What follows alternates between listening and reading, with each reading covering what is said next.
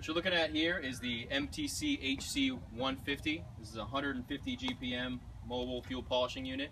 Uh, it's broken up into two different skids here. We have a pre-filter skid that'll separate water and large particulate. And we have a secondary skid that will remove uh, fine particulate and condition the fuel on its way out. The system is driven by an electronic smart filtration controller that'll give you alarms, allow you to run in auto or manual mode, and allow you to adjust the frequency of the motor so we can ramp up to 160 GPM all the way down to 15 GPM. Now this system is typically run in a kidney loop fashion where fuel is taken from one side of the tank and returned to the other. This will create a flow within the tank and move any particulate that might be trapped on the bottom or within a baffle. All right, fuel will enter from the inlet side of the tank into the pre-filtration skid, uh, which can be isolated on both sides.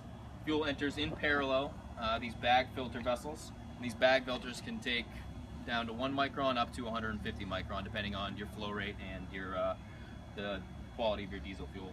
The fuel then moves in parallel to water separators. These separate the water and the diesel fuel uh, due to the difference in specific gravity of the water. Uh, it's heavier, so it tends to accumulate on the bottom. Then it moves through in between the skids in a uh, clear suction hose so that you can see the flow and you can see if you have any particulate moving through. At that point, we enter the uh, final filtration skid. This is where your controller and your VFD is located along with your pump and your final filters. It typically goes in the pump and there's two options at this point. You can exit back right after the pump, back to the tank. This allows you to use the pre-filter skid in order to remove any large particulate and perform faster filtering without actually using up the more expensive uh, cartridges.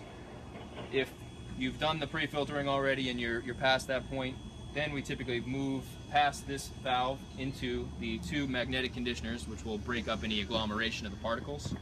And then we move into the final filtration stage.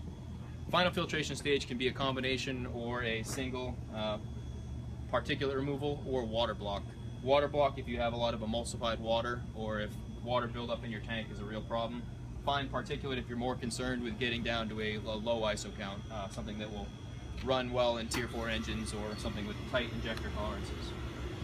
After the pre or the final filter stage, we move out of the skid again, and uh, you can typically view the flow rate on a flow rate meter uh, we have as an option. This will give you an idea of what you're putting in and out of the tank. And we move through the discharge hose back into the tank. Now this process can run uh, for a number of hours depending on how big the tank is, uh, what your fuel quality is, and where you want to be with the fuel quality at the end of the day. There's a number of different options with these systems. We add wheels, uh, you can add them onto a trailer. Really, it depends on the application, your tanks, and what you'll be polishing.